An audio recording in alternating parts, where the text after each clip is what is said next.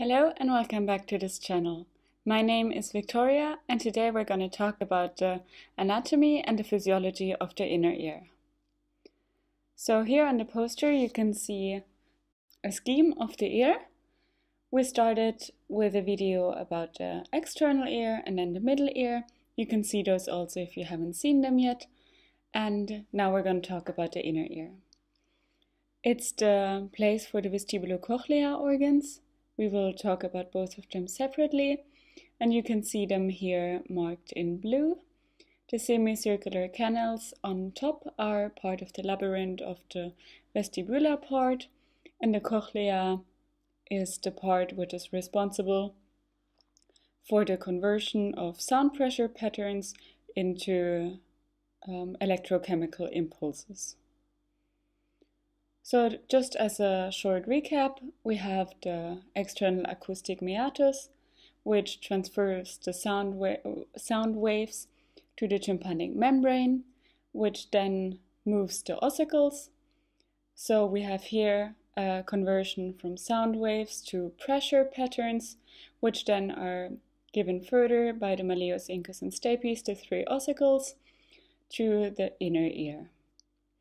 Here the cochlea is responsible for uh, transferring these pressure patterns into action potentials. How this is going to happen, I will explain later. First, I want to talk about the vestibular part. It is responsible for balance and detection of motion, head movement and proprioception, so the spatial orientation, and also for coordinating automotor functions accordingly. It is made up of tracts and a system of channels called labyrinth, and it is a hollow cavity in the temporal bone. The labyrinth is made up of three semicircular canals in a sagittal, frontal, and transverse plane. Upon movement, the fluid within these semicircular canals moves, which helps the detection of differently directed movements. The movements are either side to side, so the no movement of the head, up and down, so the yes movement, and tilting, so side to side.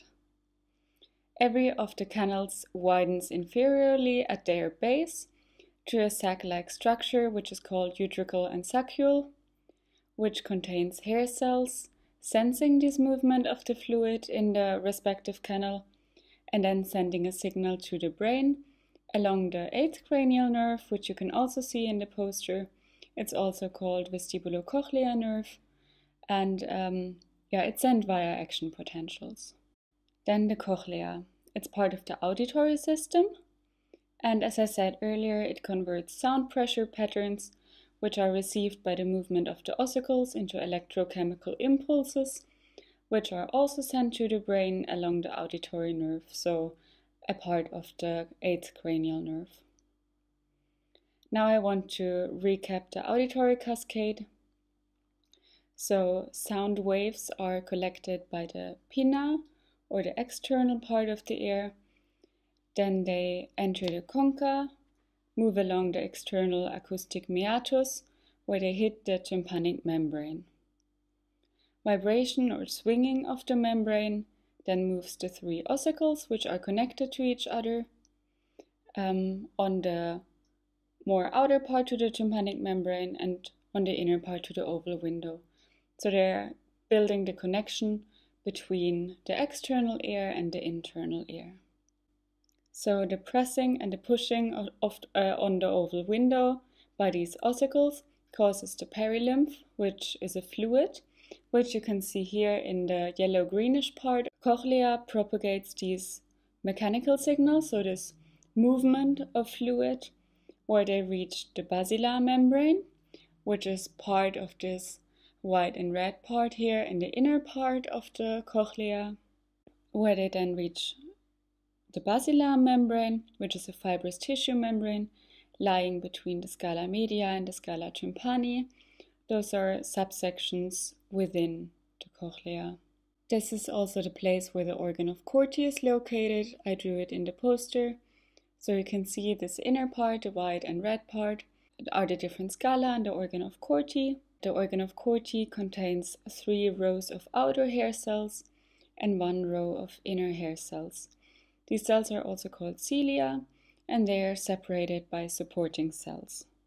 The front part of the hair cells are shorter and vibrate upon short frequency or high pitched sound waves, and the back part of the cells is longer and it moves in long frequency waves. The movement of the perilymph causes the basilar membrane, the reticular membrane, and hair cells to move upwards towards the tectorial membrane, which you can see here also uh, described in the poster. It's the upper or the more to the left pointing black line inside this uh, cochlea. that is upwards moving toward the tectorial membrane causes the hair cells to bend and they are connected to each other by tip-link protein fibers which have ion channels embedded within them.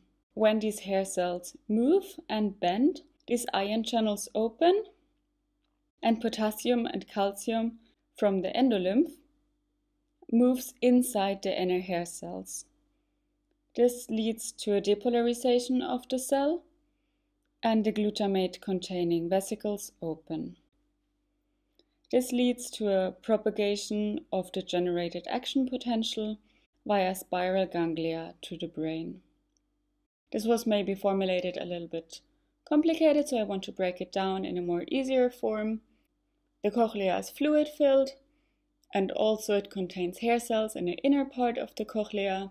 And when these hair cells, because of the movement and the swinging of this lymph, start to bend, then this opens channels, which then leads to a generation of action potentials, which are then transferred to the brain uh, and then further are further translated into language so that we can yeah understand what is what all this mechanical signals were meaning. I hope this was understandable. It was a little bit more complicated topic, but I hope the video was helpful and if you liked it, I would be very happy if you could subscribe.